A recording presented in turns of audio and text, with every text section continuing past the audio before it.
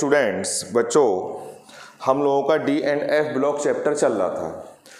अब तक हम जो तीन लेक्चर डिलीवर हुए थे, उसमें डी एंड एफ़ ब्लॉक की प्रॉपर्टीज़ के बारे में सब कुछ पढ़ चुके थे। अब हमारा नेक्स्ट टॉपिक स्टार्ट होता है F block elements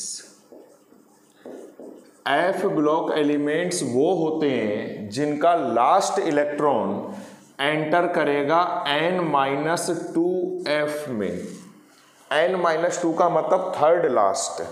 बाहर वाली सेल एन होती है, ये एन होती है, ये एन माइनस वन होती है और ये थर्ड लास्ट वाली होती है, एन माइनस टू। तो वो सारे एलिमेंट्स जिनका last electron N minus two F orbitals में एंटर करता है, उनको हम बोलते हैं एफ़ ब्लॉक एलिमेंट्स। अब सारे जो एफ़ ब्लॉक एलिमेंट्स हैं, ये पीरियोडिक टेबल के बॉटम पे रखे हुए हैं और उनको दो कैटेगरीज में डिवाइड करा गया है। पहली बात तो ये कि इनका जनरल इलेक्ट्रॉनिक कॉन्फ़िगरेशन ये होता है। एन माइनस टू एफ़ में वन से लेके फोर्टीन तक कुछ भी हो सकते हैं। एन माइनस वन डी में ज़ीरो हो सकता है या वन होगा या टू होगा और एन एस में टू होंगे। दो कैटेगरीज हैं, पहली है लेंथेनोइड्स या इसको बोलते हैं फोर एफ़ सीरीज़ एलिमेंट्स, क्योंकि इनका last electron four F orbitals में एंटर करता है, इसलिए इनको हम बोलते हैं फोर एफ़ सीरीज़ एलिमेंट्स। ये कौन से होते हैं? लेंथनम 57 के बाद के। जो 14 एलिमेंट्स हैं, यानी एटॉमिक नंबर 58 से लेके 71 तक, इनको हम बोलते हैं लेंथेनोइड्स मैंने ये यहाँ पर लिख दिए हैं पहले से ही। ये जो लेंथनम एलिमेंट है, ये प्रैक्टिकली डी ब्लॉक का एलिमेंट है। लेकिन हम इसकी स्टडी इसी के साथ करते हैं, क्योंकि डेफिनेशन के हिसाब से तो ये डी ब्लॉक का एलिमेंट है। लेकिन बाकी सारी प्रॉपर्टीज़ में ये रिजेंबल करता है एफ़ ब्लॉक। एलिमेंट से। तो जो लेंथेनोइड्स की स्टार्टिंग होती है, वो एटॉमिक नंबर 58 से होती है और 71 तक फिर भी हम लेंथनम की स्टडी भी इसी में करेंगे। इनका लास्ट इलेक्ट्रॉन 4f में एंटर करेगा, इसलिए इनको हम बोलते हैं 4f सीरीज़ एलिमेंट्स अब दूसरी आती है एक्टिनोइड्स इनको हम बोलते हैं 5f सीरीज़ एलिमेंट ये होते हैं एक्टिनम 89 के बाद के, यानी 90 से लेके 103 तक के 14 एलिमेंट्स। इनको हम बोलते हैं एक्टिनोइड्स। एक्टिनम डी ब्लॉक का एलिमेंट है, लेकिन इसकी स्टडी हम इन्हीं के साथ करेंगे, क्योंकि तो डेफिनेशन को अगर हम छोड़ दें तो बाकी सारी प्रॉपर्टीज़ इनकी एफ़ ब्लॉक से रिजेंबल करती हैं।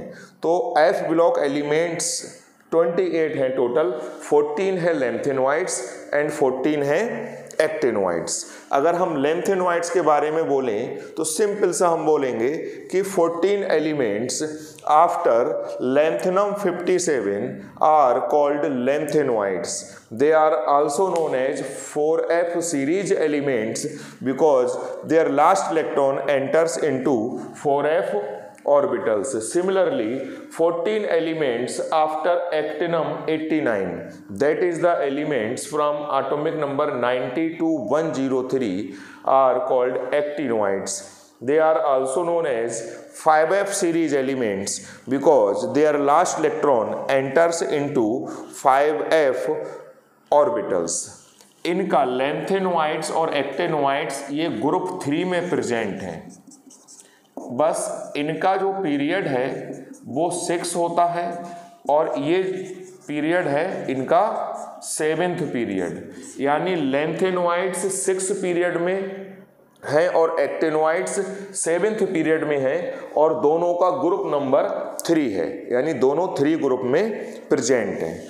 अब हम बात करते हैं इनके प्रॉपर्टीज़ की लेंथेनोइड्स की।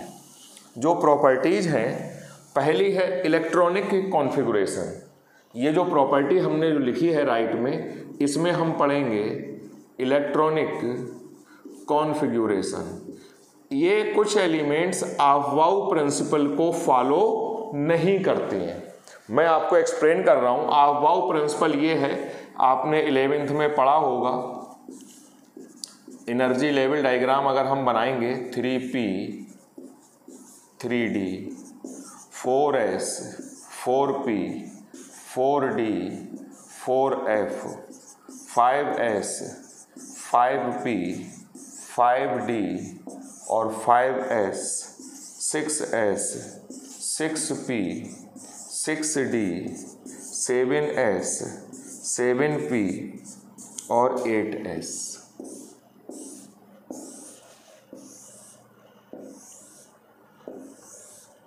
इलेक्ट्रॉन के आने की ये जो डायरेक्शन है, वन एस में आएगा, फिर टू एस, इस टाइप से जो हम याद करते थे। आपने इलेवेंथ में ये करा होगा, स्ट्रक्चर ऑफ़ एटम में। इलेक्ट्रॉन पहले वन एस में आएगा, फिर टू एस में टू पी, फिर थ्री एस, उसके बाद थ्री पी, फिर four S, three P, four S, three D, four P, five S, four D.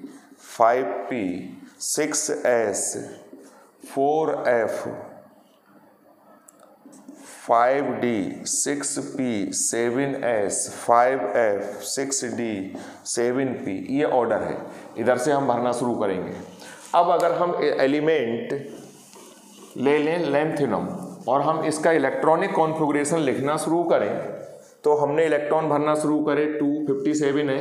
इसमें टू आएँगे, इसमें सिक्स इसमें टू इसमें सिक्स टू टेन फिर six two ten six two fourteen sorry यहाँ तक अगर हम आए, यहाँ तक इलेक्ट्रॉन हो गया बच्चों 54 और 54 एटॉमिक नंबर होता है जिनोन का। इसके बाद नेक्स्ट इलेक्ट्रॉन जाएगा 6s में टू इलेक्ट्रॉन अब हमारे इलेक्ट्रॉन फिल हो गए 56 से। Fifty seventh electron according to aufbau principle enter करना चाहिए था फोर एफ़ में। किसमें एंटर करना चाहिए था? फोर एफ़ में, लेकिन वो फोर एफ़ में ना जाके फाइव डी में जाएगा। अब जब नेक्स्ट आएँगे एटॉमिक नंबर 58 में तो 5d में तो एक ही रहेगा। और जो एक्स्ट्रा इलेक्ट्रॉन आया, वो 4f में आ गया। ना तो एटॉमिक नंबर 57 में आबाउ प्रिंसिपल फॉलो हुआ है और ना 58 में। नेक्स्ट केस में क्या होगा? फाइव डी का इलेक्ट्रॉन भी इधर शिफ्ट हो जाएगा और एक बढ़ गया एटॉमिक नंबर बढ़ने के साथ। तो यहाँ हो गए थ्री फिर यहाँ हो गए फोर फिर यहाँ हो गए फाइव फिर यहाँ हो गए एस में तो टू है।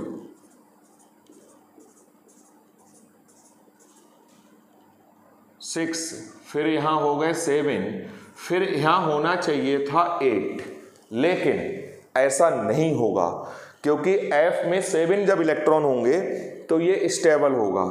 तो यहाँ पर सेवन होंगे और एक इधर शिफ्ट हो जाएगा स्टेबिलिटी देने के लिए। नेक्स्ट केस में ये भी यहाँ आ जाएगा तो यहाँ नाइन यहाँ ten eleven twelve thirteen fourteen और ये। ये इलेक्ट्रॉनिक कॉन्फ़िगरेशन है। आफवाउ प्रिंसिपल यहाँ फॉलो नहीं हो रहा है, यहाँ नहीं हो रहा है और यहाँ नहीं हो रहा है। बाकी सारे केसेस में हो रहा है। तो ये हो गया electronic configuration sequence of filling थोड़ा सा डेविएट हो गया है आफवाउ प्रिंसिपल से। दूसरी प्रॉपर्टी है कलर जैसे हमने डी ब्लॉक में पढ़ा था कि डी ब्लॉक एलिमेंट उनके आयन या उनके compounds are coloured due to D D transition और डी ज़ीरो और डी टेन कलरलेस थे। यहाँ पर भी एफ़ एफ़ ट्रांजिशन होगा। मतलब colour is due to F F transition F F transition उनमें होगा जिनमें एफ़ में वन से लेके थर्टीन इलेक्ट्रॉन होंगे। यानी जिसका इलेक्ट्रॉनिक कॉन्फ़िगरेशन ये होगा एफ़ वन से लेके एफ़ थर्टीन वो सारे कलर्ड होंगे। एफ़ ज़ीरो में एफ़ एफ़ ट्रांजिशन नहीं होगा और एफ़ फोर्टीन में तो ये कैसे होंगे? कलर लेस अब बात आती है थर्ड प्रॉपर्टी की मैग्नेटिक प्रॉपर्टी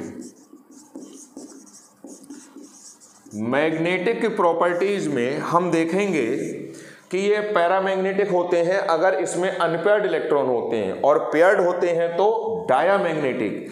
लेकिन इनका जो मैग्नेटिक मूवमेंट है, उसको निकालने का ये फार्मूला नहीं है। ये डी ब्लॉक में एप्लीकेबल होता है।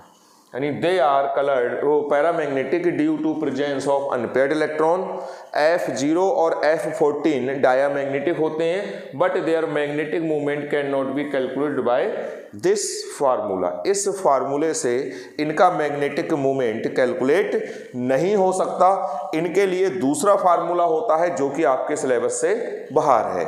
नेक्स्ट प्रॉपर्टी आती है oxidation state D block elements की बच्चों, जनरल ऑक्सीडेशन स्टेट होती है प्लस थ्री। प्लस थ्री का मतलब ये है कि most of the F block elements exhibit plus three oxidation state. कुछ अदर ऑक्सीडेशन स्टेट्स भी होती हैं, जैसे प्लस टू और प्लस फोर तो उनकी स्टेबिलिटी हम एक्सप्लेन कर सकते हैं।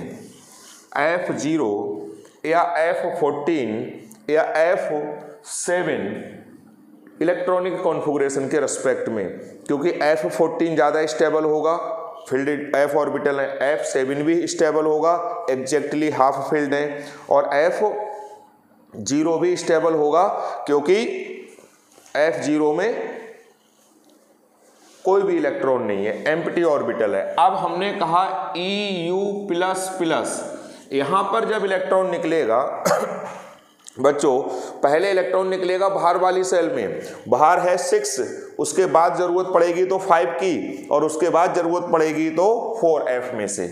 ई e यू में अगर हम आएँगे तो यहाँ पर आप देखो ये टू इलेक्ट्रॉन निकालने हैं तो पहले गए सिक्स एस से। तो इसका इलेक्ट्रॉनिक कॉन्फ़िगरेशन हो जाएगा ये, और ये स्टेबल है। किसी का भी इलेक्ट्रॉनिक कॉन्फ़िगरेशन निकालना है तो पहले बाहर से शुरुआत करोगे, फिर उसके अंदर।